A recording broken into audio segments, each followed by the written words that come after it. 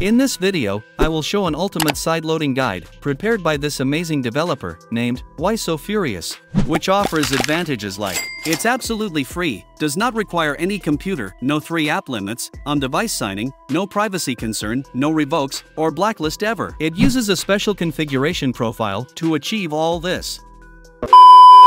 Launch the browser and visit this website. Link will be in description. This guide is from the developer, Why So Furious. Here you will find only three option, guide, downloads, and support. So tap on guide. I would also suggest to open the link in a new tab for convenience.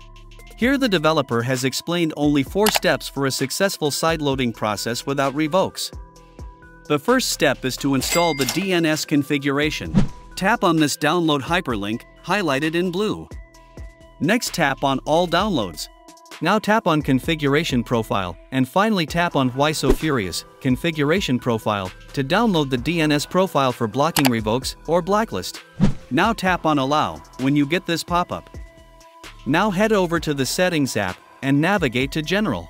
And then to VPN and Device Management as shown on the video. Now simply install the profile. The DNS will be enabled automatically.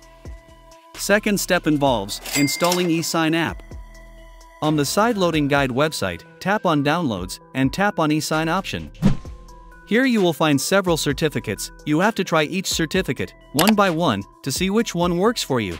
If none of the certificates works, do not worry, this guide have the solution, so keep watching till the end. Let's try the first link. Tap on the first link, tap on Open. And finally tap on Install when you get this pop-up.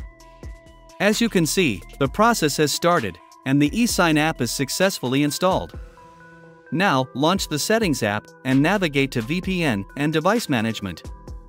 And trust the certificate. Please keep in mind, that certificate which works in my device may not work in your device, and vice versa. The eSign app is also working properly.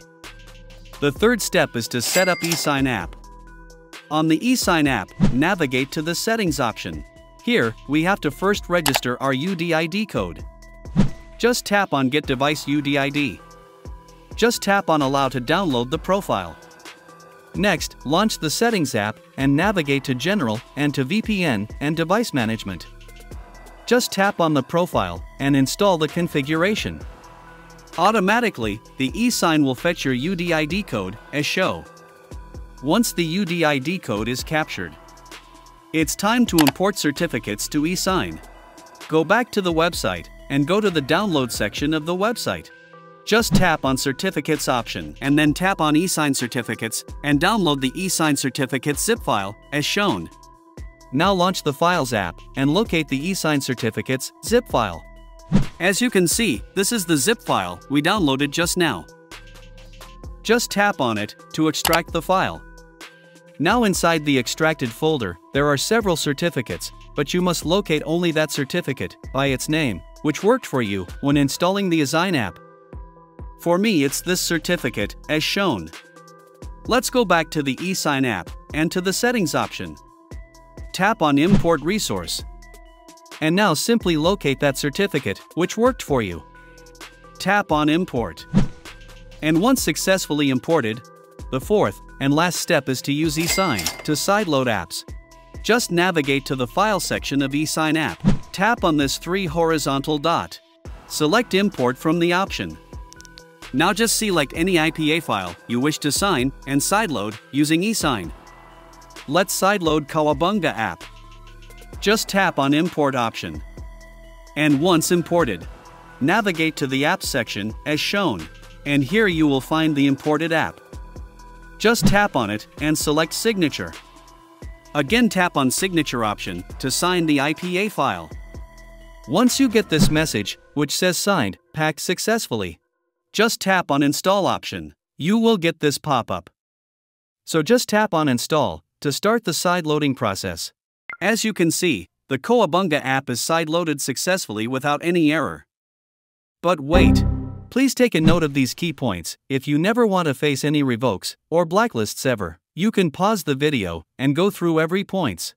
If you want any doubts, just comment down below. What if none of the certificates worked for you? So, as per the guide by the developer, you can solve it using two methods.